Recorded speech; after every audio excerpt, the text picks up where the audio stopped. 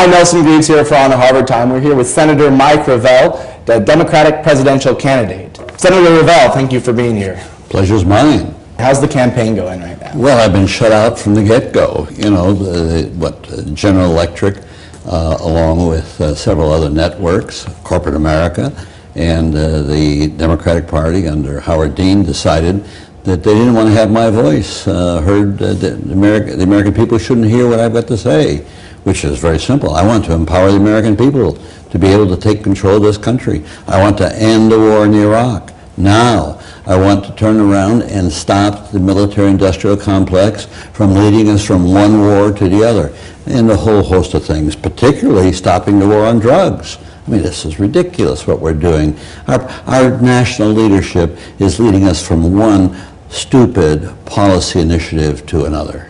Now, uh, you, you certainly have a lot of uh, unique and, and, very outspoken uh, opinions about issues, um, but you're also one of the one of the older candidates in the event. How have you been trying to reach out to people who, say, haven't lived through the Great Depression? Well, how I'm trying to reach out, I have the misfortune of being in a society that has a wrong tradition. If I were in China, my age would be an asset. Now that I'm in the United States, well, if I were the age of Paris Hilton, that would be an asset. So maybe, and I've heard this in Los Angeles, you know, 70s or 50s, gray is now blonde.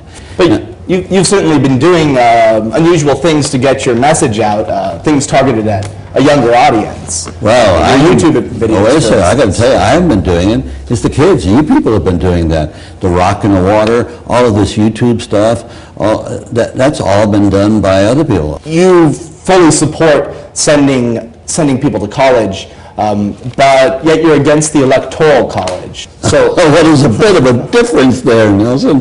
The electoral college has got nothing to do with going to college. The electoral college is put in place in order to protect slavery. And it's still there. And of course, slavery is gone. And so it still causes all kinds of mischief. What do you have to say about uh, Senator Obama, who claims to have inhaled and inhaled many times, in fact, that being the point? Don't you think this, in some ways, shows some kind of progress or, or some kind of merit on his part? Well, of course it shows merit. It shows he's got half a brain that he was, as he was growing up, that he was out there to experiment with, uh, with marijuana. Well, I'd ask him, here, have you tried any coke, Barack? I have. It didn't work on me. I've got sinus problems. Senator, you have a, a clip on your site entitled Hillary, your lips are moving, but you're lying. On a couple of instances in the course of the debate, she made statements about something that she did or was going to do. She was lying. She was not telling the truth. We, uh, we were looking at our own, uh, doing our own analysis, and we had come up with a few alternative uh, phrases, and I, I, wanted to see what you thought of them. We had, Hillary, your, your legs aren't moving, but you're walking all over America. now, you, you obviously are very dissatisfied uh, and at times get very worked up about the state of the country. When you just have too much stress, do you, do you have a way that you de-stress?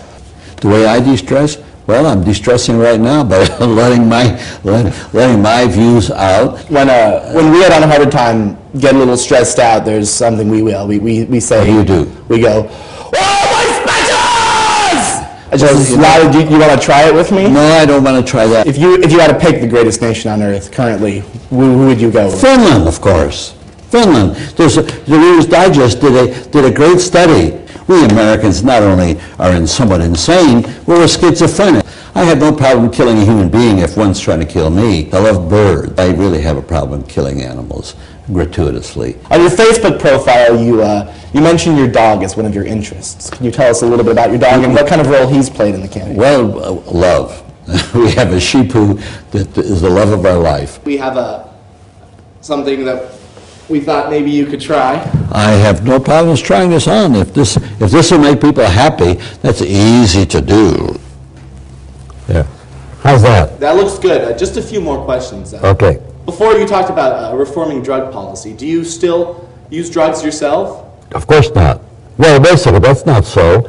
I, I take uh, uh, pills because I have neuropathy, and uh, I use Aleve because I have back pains every so often. So those are drugs. Thank you so much again, Senator. And for On Harvard Time, I'm Nelson Greaves. And I'm Mike Gravel.